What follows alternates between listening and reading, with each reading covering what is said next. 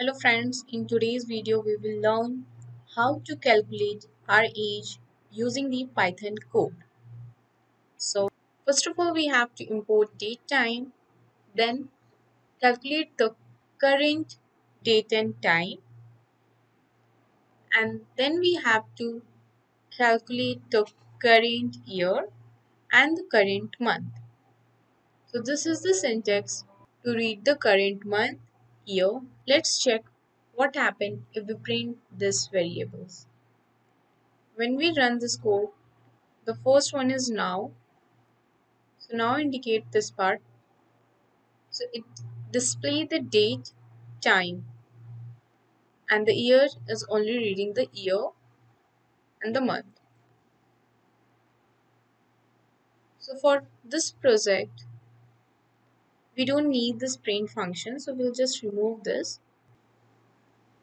Now we need to ask the user about the birth year and the birth month. So the values we are getting the birth year and the birth month are in the form of integer. But the year and the month the current year and the current month calculated over here are in the string.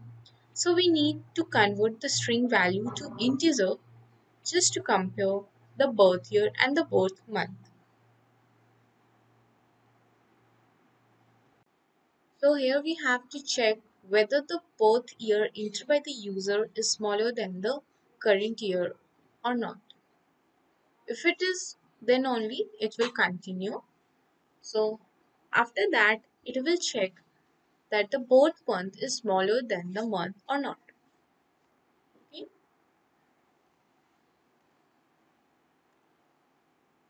And here we have used the x to calculate the age so the year minus birth year will give the age and the y the how much month. And use the print to display your age is x and the y is and this much month. But in this what happened it's not compulsory that the birth month is always smaller than the current month. So there is another else conditions that if the birth month is greater than the month, it will be like, so right now it's June, so the person have the birth month 12, then we have to do the this else condition. So in else we are calculating the age by the current year minus the birth year and subtracted by 1 because the birthday haven't arrived this this year.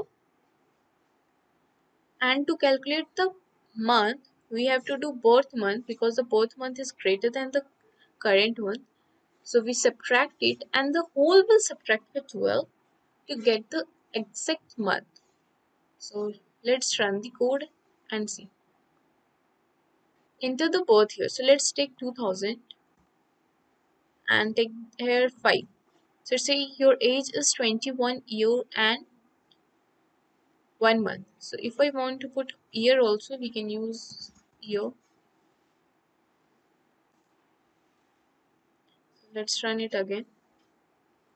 Let's take 2003 4 18 years and 2 months.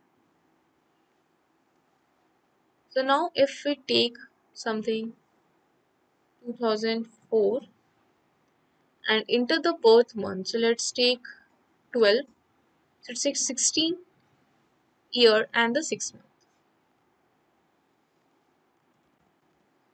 Here.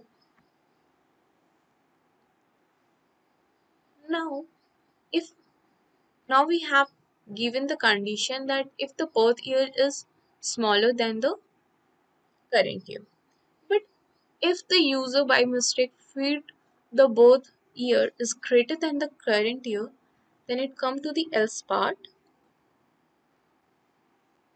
and print. So it will print check your both year once again. So let's run this code. So the birth year, let's take 2022.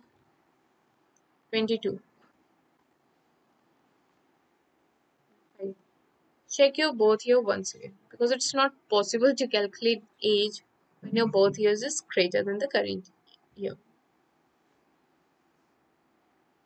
This is the whole code. Hope you will enjoy this and learn something new. Just subscribe my channel for more updates.